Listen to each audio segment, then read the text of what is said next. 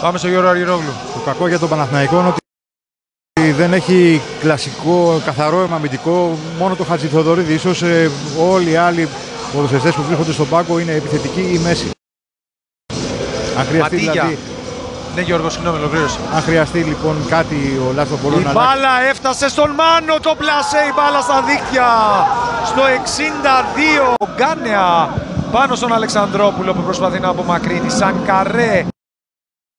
Ανοίγει το Βηγιαφάνες, όπως, όπως φεύγει η μπάλα. Ελέγχει ξανά ο Άρης με δελιζήσει τώρα.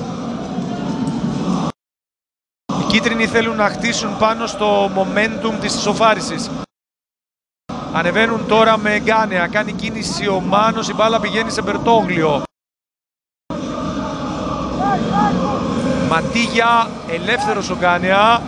Βγάζει για Μπερτόγλιο ξανά. Θέλει να περάσει. Ελέγχει ο Μάνος. Μία πάσα σε Μαντσίνη. Ένα σούτ από τον Σάσα ο Διούδης. Η μπάλα διεκδικήσιμη γκολ. Στο 65 ο Άρης γυρίζει το μάτς με Ματέο Γκαρσία.